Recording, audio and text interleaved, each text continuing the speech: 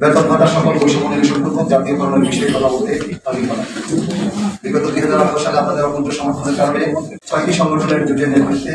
জাতীয় প্রস্তাবের সামনে দশ জানুয়ারি থেকে টানা বিশ দিনের আন্দোলন পরিচালনা করা হয়। সে প্রেক্ষিতে উনত্রিশ জানুয়ারি দুই হাজার আঠারো তারিখে মাননীয় প্রধানমন্ত্রীর পক্ষে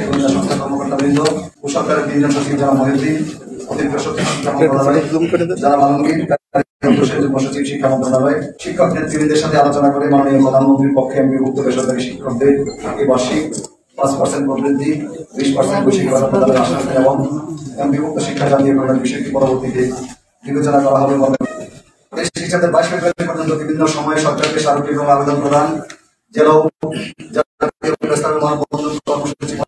কর্মচারীদের বৈষম্য সহ জাতীয়করণের বিষয়ে সরকারের নিকট দাবি জানায়। আবেদন করি যেন বিভক্ত কর্মচারীদের বৈষম্য সহ জাতীয়করণের জন্য জাতীয়করণ বিষয়ের প্রতিটি বাজেটে বিশেষ অর্থ বরাদ্দের ব্যবস্থা নেওয়া এবং বিভক্ত শিক্ষা প্রতিষ্ঠানের সরকারি পোশাকের জমা নেওয়া হয় এবং প্রয়োজনে শিক্ষা প্রতিষ্ঠানের ছাত্র ছাত্রীদের মাসিক বেতন কাঠামো সংস্কার পূর্বক বিশ থেকে পঞ্চাশ টাকা পুনর্নির্ধারণ করা হয়। বিশেষ করে মহান জাতীয় সংসদে বিভক্ত শিক্ষার যাবতীয় সমস্যার সমাধান সহ জাতীয়করণের বিষয়ে আলোচনা করা হয়। অতঃপর সরকারি এবং বিরোধী দলের বারো থেকে চোদ্দ জন সাংসদ সহ বিরোধী দলীয় উপনেতা, মহান জাতীয় সংসদে জাতীয় জাতীয়করণের বিষয়টি মাননীয় প্রধানমন্ত্রীর উপস্থিতিতে আলোচনা করেন। সরকার দীর্ঘ পাঁচ বছর ধরে আমাদের আন্দোলন সংগ্রামের পরেও আমাদের দাবি সমূহ আমলে না নেয় সর্বশেষ দুই হাজার তেইশ সালের চব্বিশ ফেব্রুয়ারি থেকে টানা চল্লিশ দিন জাতীয় প্রেসক্লাবের সামনে জাতীয়করণ প্রত্যাশী মহাজোটের নেতৃবৃন্দ অবস্থান এবং অনশন কর্মসূচি পালন করি। তাছাড়া জাতীয় প্রস্তাবের সামনে সংগ্রাম কমিটির ব্যানারে জুলাই দুই হাজার তেইশে বাইশ দিনের চড় আন্দোলন শেষে পয়লা আগস্ট আওয়ামী লীগের ধানমন্ডির কার্যালয়ে মাননীয় প্রধানমন্ত্রী রাজনৈতিক উপদেষ্টা জনাব কবির আনোয়ার শিক্ষা সম্পদ বিষয়ক সম্পাদক জনাব শামসুল নার চাপা এবং মাননীয় শিক্ষা প্রমন্ত্রী রেজিস্টার মহিবুল হাসান চৌধুরী নৌফেল আন্দোলন থামাতে ঘোষণা দেন। দ্রুতই এমপিভুক্ত শিক্ষক কর্মচারীদের শিক্ষকগণ সরকারি, শিক্ষকদের যে আর্থিক খাতে যে সকল ক্ষেত্রে পান, তা অনতিবিলম্বে সমতায় আনা হবে বিশেষ করে শতভাগ উচ্চ ভাতা ভাড়া এবং চিকিৎসা ভাতার বিষয়টি দ্রুতই নিষ্পত্তি করা হবে। তারপর আসবে জাতীয়করণের বিষয়। বিশেষ করে সরকারের মাননীয় শিক্ষামন্ত্রী ডাক্তার দীপমণি সরকারের পক্ষে শিক্ষা জাতীয়করণের জন্য প্রশাসনিক ও আর্থিক বিষয়ে দুটি কমিটি ঘোষণা করেন। উক্ত দুটি কমিটিতে এমপিভুক্ত শিক্ষক সংগঠনের শীর্ষ নেতৃবৃন্দকে সম- সম্পৃক্ত করা হবে, যা এখন আরও কম দেখি। তাছাড়া সরকার এমপিভুক্ত শিক্ষক কর্মচারীদের বৈষম্য নিরসনের সাতাইশ আঠাশ জুলাই দুই হাজার তেইশ তারিখে গাজীপুর গাজীপুরের রাজেন্দ্রপুরস্থ ব্রাক সিডিএমে দুই দিনের কর্মশালা পরিচালনা করেন উক্ত কর্মশালায় বিভক্ত শিক্ষা জাতীয়করণ প্রত্যাশী মহাজোটের শীর্ষ নেতৃবৃন্দ অংশগ্রহণ করেন কর্মশালায় আমাদের প্রধান বিক্রি প্রস্তাব সহ উপযুক্ত বিষয়াবলীর প্রেক্ষিতে সরকার আজ পর্যন্ত উচ্চ ভাতা ভাড়া ও চিকিৎসা ভাতা বাড়ানোর বিষয় সহ বিভক্ত শিক্ষা পদক্ষেপ গ্রহণ করেনি, যা দুঃখজনক। কর্মশালায় বিধি মহসী ঘোষণা করেছিলেন, দুই হাজার তেইশ খ্রিস্টাব্দের বিশ্ব শিক্ষক দিবস বা জাতীয় শিক্ষক দিবস চিহ্নটি সম্মেলন কেন্দ্রে অনুষ্ঠিত হবে এবং সেখানে প্রধান অতিথি থাকবেন মাননীয় প্রধানমন্ত্রী। উক্ত অনুষ্ঠানে এমপিভুক্ত শিক্ষকদের ভাগ্য উন্নয়নে কিছু একটা হবে এমনটা আশা করা যায়। ইতিমধ্যে সরকার পাঁচ অক্টোবর বিশ্ব শিক্ষক দিবস প্রত্যেকটি প্রতিষ্ঠানে জেলা উপজেলায় পালন করার জন্য নির্দেশনা প্রদান করেছেন। যার ফলে এমপিভুক্ত শিক্ষক কর্মচারীদের উন্নয়নে সরকারের চলমান মেয়াদে কিছু একটা হবে এমনটা আশা করা খুবই কঠিন। তারপরও মহাজোট মনে করে মাননীয় প্রধানমন্ত্রী অতি বিলম্বে এমপিভুক্ত শিক্ষক কর্মচারীদের বাড়ি ভাড়া চিকিৎসা বিষয়ে কিছু একটা করবেন এবং এমপিভুক্ত শিক্ষা জাতীয়করণের রূপরেখা ঘোষণা করবেন। বর্তমান সময়ে নায়বের মহাপরিচালক বলেছেন, দেশের সবচেয়ে অবহেলিত এবং বিকৃত পেশার নাম স্কুল ও কলেজের শিক্ষকতা। তার মধ্যে একজন বিজ্ঞ ব্যক্তিত্ব, এ ভাষায় কথা বলার মনে হলো, যেখানে সরকারি স্কুল কলেজের শিক্ষকদেরকে সরকার আজ কোনো মূল্যায়ন করছে না, সেখানে বেসরকারি এমপিভুক্ত শিক্ষকদেরকে মূল্যায়নের বিষয়টি প্রশ্নবোধক থেকে যায়। জাতির পিতা বঙ্গবন্ধু শেখ মুজিবুর রহমান উনিশশো তিয়াত্তর সালে মাত্র সাতশো ছিয়াশি কোটি বাজেটে সাঁত্রিশ হাজার প্রাথমিক বিদ্যালয়কে জাতীয়করণ করে ইতিহাস সৃষ্টি করেছেন এবং শিক্ষা বান্ধব সরকার হিসাবে দেশে এবং বিদেশে স্বীকৃতি পেয়েছে বঙ্গবন্ধু মোহন বাজেটের একুশ পার্সেন্টের বেশি অর্থ শিক্ষার জন্য ব্যয় করেছেন। বঙ্গবন্ধু বেঁচে থাকলে তার শিক্ষা দর্শন অনুযায়ী বেসরকারি এমপিভুক্ত শিক্ষাকে অনেক আগেই জাতীয়করণ করা হতো। বাংলাদেশ সরকার, আইএলও এবং ইউনেস্কোর কাছে অঙ্গীকারাবদ্ধ যে শিক্ষা খাতে মোট বাজেটের বিশ পার্সেন্ট এবং জিডিপির ছয় পার্সেন্ট খরচ করবে। কিন্তু স্বাধীনতার বাউন্ন বছরেও তা সম্ভব হয়নি। দুই হাজার তেইশ চব্বিশ অর্থ অর্থ বছরে প্রায় সাত লক্ষ একষট্টি হাজার সাতশো পঁচাশি কোটি টাকার বাজেটে সরকার শিক্ষা খাতে মোট বাজেটের প্রায় এগারো দশমিক চার পার্সেন্ট এবং জিডিপির এক দশমিক আট তিন পার্সেন্ট বরাদ্দ রেখেছে যা অপ্রতুল এবং এটা গত বছরের বাজেটের তুলনায় কম। শিক্ষা বাজেটের এই অবস্থা চলতে থাকলে শিক্ষার ভিত দিন দিন হতে থাকবে।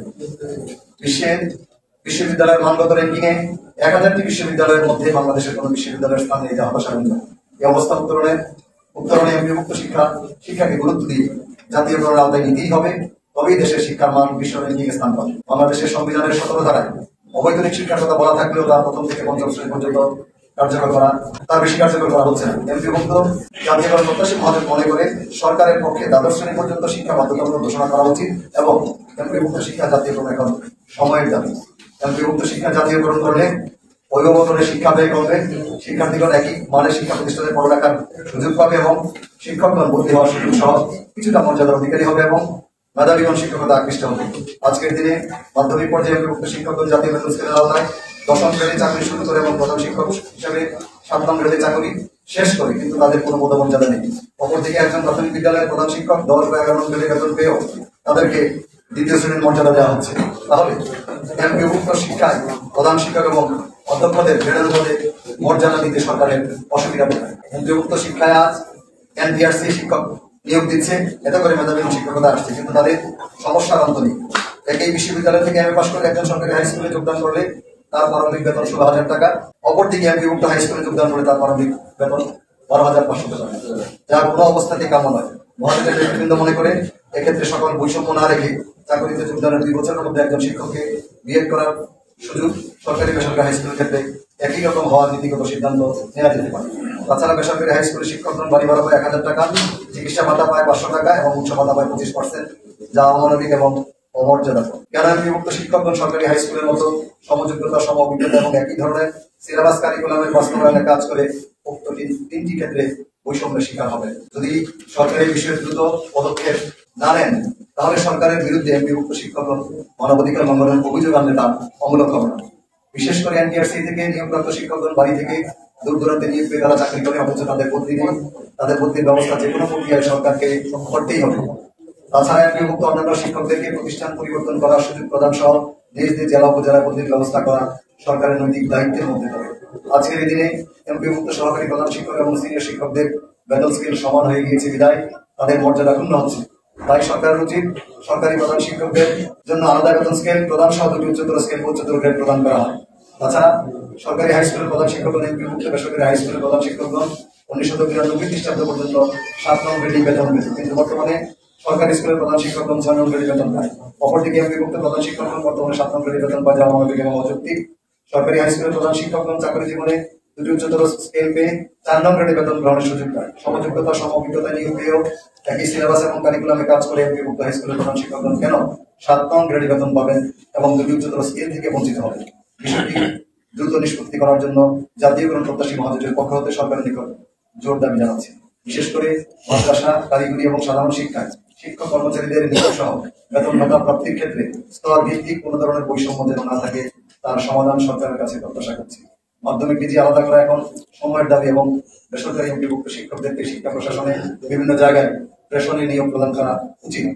ইএফটি মাধ্যমে বিভক্ত শিক্ষক কর্মচারীদেরকে বেতন প্রদানের বিষয়ে বর্তমান মহাপরিচালক বন্ধের উচ্চ শিক্ষা অধিদপ্তর যোগদান করার পর থেকে বলে আসলেও এ এখনও কার্যকর হয়নি। তিনি সাম্প্রতিক সময়েও বিভক্ত শিক্ষকদেরকে ইএফটি মাধ্যমে বেতন প্রদানের বিষয়ে আলোকপাত করেছেন।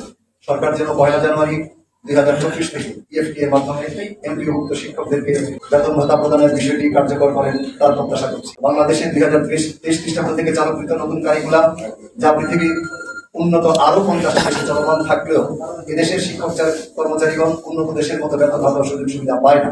মানসম্মত শিক্ষার জন্য ও মেধাবীদের শিক্ষকতা আকৃষ্ট করার জন্য বাংলাদেশের শিক্ষক কর্মচারীদেরকেও উন্নত দেশের শিক্ষক কর্মচারীদের মতো ন্যূনতম সুযোগ সুবিধা প্রদান করা উচিত। সরকার যদি এক্ষেত্রে কার্যকর পদক্ষেপ না নেয়, তাহলে মেধাবীগণ শিক্ষকতা আকৃষ্ট হবে না এবং বিদেশি শিক্ষা ব্যবস্থা দিন নিম্নমুখী হবে। বিশেষ করে মহাজোট মনে করে নতুন কারিকুলামে বাংলা প্রথম এবং দ্বিতীয় পত্রের সমন্বিত সিলেবাসে নম্বর মানদণ্ড পঞ্চাশ পঞ্চাশ করে থাকা উচিত। ইংরেজিতেও প্রথম দ্বিতীয় পত্রের সমন্বিত সিলেবাসে নম্বর ও মানদণ্ড পঞ্চাশ পঞ্চাশ করে থাকা উচিত। গণিতের মধ্যে প্রত্যেকটি অধ্যায়ে প্র্যাকটিস করার মতো যথেষ্ট সংখ্যক গণিত প্রশ্ন সন্নিবেশিত করা উচিত।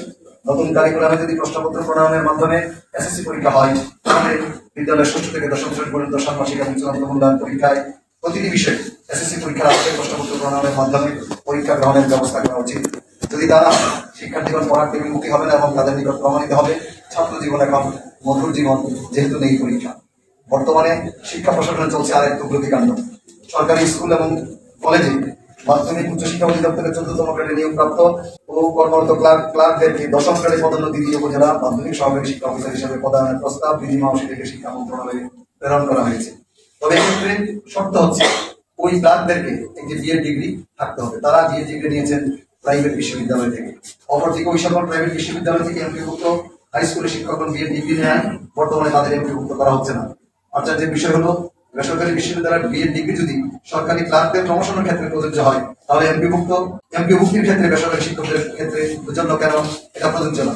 এ বিষয়টি কোনো অবস্থাতেই মেনে নেওয়া যায় না। তাছাড়া এমপিভুক্ত সাত নং গ্রেডের প্রধান শিক্ষক আট গ্রেডের সহকারী প্রধান শিক্ষক ও অন্যান্য শিক্ষকদের কর্মকর্তা অভিভাবক হবেন। চোদ্দ গ্রেডের ক্লাস তা মোটেও হতে পারে না। শিক্ষা মন্ত্রণালয়ের কর্মকর্তাদের অনুরোধ করছি, এমপিভুক্ত শিক্ষায় উচ্চতর গ্রেডে কর্মরতদেরকে তদারকি করার জন্য অবস্থাতেই নিম্নতর গ্রেডের কর্মকর্তাকে যেন নিয়োগ দেওয়া না হয়।